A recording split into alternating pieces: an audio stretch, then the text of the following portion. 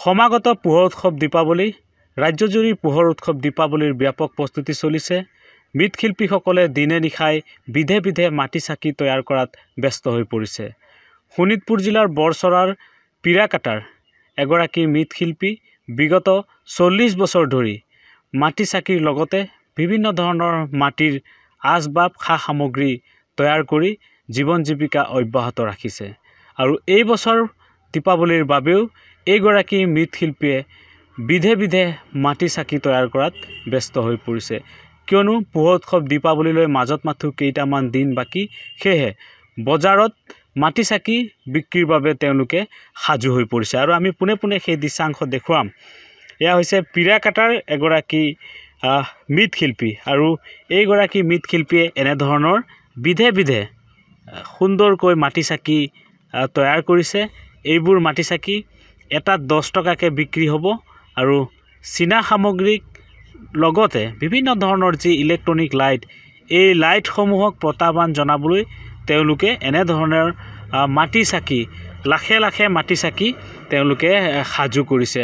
আমি দৃশ্য দেখাইছোঁ এইসকল মৃৎশিল্পী এনেধৰণে আচলতে বিগত বৰ্ষৰ দৰে এই বছৰো এই মাটি চাকি বিক্ৰীৰ বাবে এনেধৰণে সাজু হৈছে তেওঁলোকে আৰু নিৰ্মাণ তৈয়াৰ কৰা প্ৰায় সম্পূৰ্ণ হৈছে। এইসমূহ পুৰিব তেওঁলোকে পুৰাৰ পিছতেই বজাৰত লৈ যাব বিক্ৰীৰ বাবে।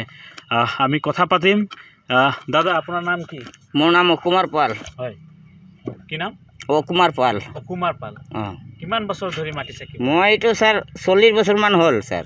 চল্লিছ বছৰ? চল্লিছ বছৰ হ'ল এইবাৰ কিমান চাকি বনাইছে? বনাইছোঁ বিছ ত্ৰিছ হাজাৰমান বনাইছোঁ। বিছ ত্ৰিছ হাজাৰ। বিক্ৰী কৰিব? বজাৰ বজাৰ দোকান দোকান দিম আৰু পাইকাৰী হিচাপত। পাইকাৰী কেইবিধ চাকি বনাইছে? কেইবিধ মানে? কেইটা প্ৰকাৰৰ চাকি আছে চাকি আছে বহুত আইটেমৰ চাকি আছে। আইটেম? অঁ কেইটকাৰ চাকি? একদম এক টকাৰ পৰা বিছ টকালৈকে আছে। এক টকাৰ পৰা বিছ টকালৈকে চাকি? অঁ। বিক্ৰী হয়নে বজাৰত? হয় হৈ এতিয়া কি ক'ব বজাৰত বিভিন্ন ধৰণৰ লাইট ৰং বিৰঙৰ হৈ আছে আমাৰ মাটিৰ বাচন বিক্ৰী হ'বই এইটো। বিক্ৰী হয়। হয়। তথাপি অলপ কমিছে নেকি বিক্ৰী? নাই কমা নাই। আমাৰ মাটিৰ বাচনৰ বিক্ৰী কমা নাই। এইটো আছেই হ'বই এইটো। লাইট চাইট বিক্ৰী হ'লেও সেইটো। হ'লেও আমাৰ মাটিৰ বাচন লাগিবই। মাটিৰ বাচন নহ'লে নহ'ব। আমাৰ হিন্দু ধৰ্মৰ ই আছে ক'ত ক'ত যায় মাটি চাকি? আমাৰ এই আমি গাঁৱতেই বেচে?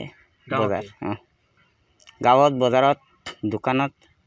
আমি বচলা মোজা আমি পূৰা দি আছোঁ। আমাৰ শোণিতপুৰ চাকিৰ লগতে আৰু কি কি বনায় আপুনি? চাকিৰ লগত মাটিৰ কলহ ফিল্টাৰ কলহ যিকোনো আৰু আপুনি ক'ব পাৰে মই বনাব জানে। মানে এইটোৱে কাম আপোনালোকৰ? আমাৰ কামেই এইটো। বেলেগ কাম নাই? বেলেগ কাম নাই আমাৰ খেতি বাতি নাই মাটি বাৰী নাই আমাৰ এই ঘৰ এইটো কৰি চলি আছে। আমি।